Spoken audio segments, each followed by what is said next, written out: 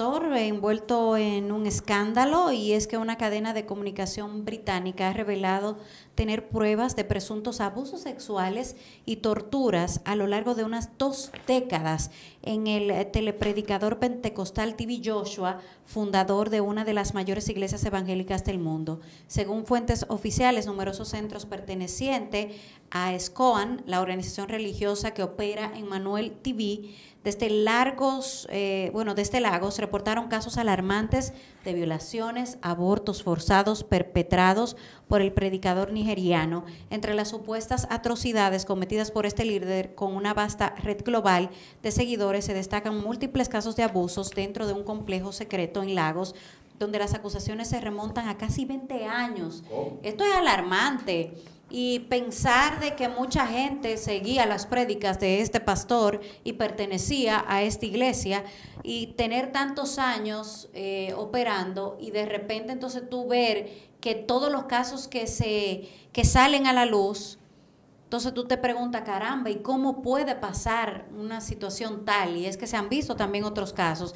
Hasta el momento la Iglesia Evangélica no ha emitido respuestas oficiales a las acusaciones de la BBC, aunque ha señalado que casos anteriores eh, carecían de fundamento. Se recuerda que Temi, Temi Tope Bologun Joshua, conocido como Tibi Joshua, falleció en junio del 2021 por causas desconocidas en ese entonces, luego de salir de un servicio religioso en su iglesia. Parece que Dios no lo salvó entonces. O, Satanás lo mandó a buscar. Tú sabes que en, noviembre de 2017 Tibi Joshua vino a República Dominicana creando una gran controversia. ¿Por qué? Porque ya él venía arrastrando algunos rumores de que los supuestos toques con los cuales él sanaba gente aparentemente no eran lo que se esperaba. Oh sorpresa que mucha gente fue a este evento dando grandes ofrendas, supuestamente gratuito, pero dando grandes ofrendas. Y ahí había un caso que dio mucha connotación en República Dominicana. Una gente que salió caminando. Un niño. El hijo de una comunicadora de aquí de República Dominicana. Y este niño tenía una condición de salud, fue prácticamente inmóvil en una silla de ruedas. Tibioso logró tocarlo y el niño salió corriendo.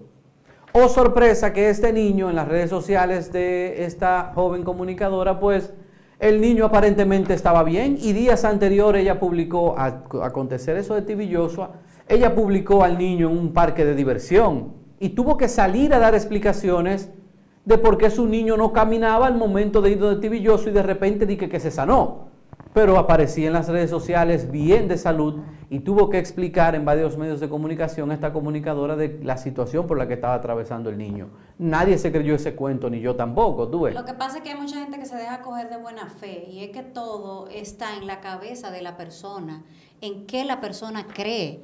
Porque yo te voy a decir una cosa, le dicen por ahí que la fe mueve montañas.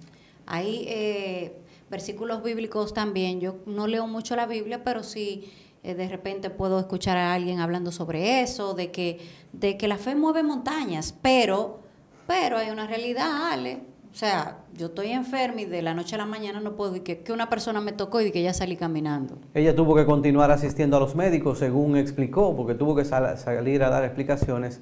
Y así muchísima gente participó de este evento en ese tiempo. Mi opinión fue muy comentada en ese video que está en las redes, en, YouTube específicamente colgado. El link, le vamos a dejar el link. Le vamos a dejar el link por aquí de ese video, donde mi opinión era...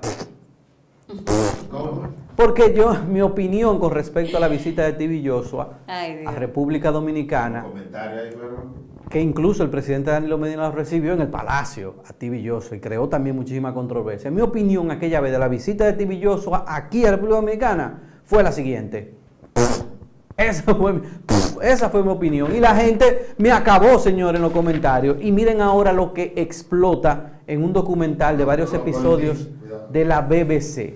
Hay que verlo ese documental. Está en inglés, lo empecé a ver y tú sabes, yo, yo no speak English very well. Good looking, pero. Pero tú algo. Pero voy tratando, voy lo estoy tratando de entender. Ahí está eh, la portada de este documental de la BBC News.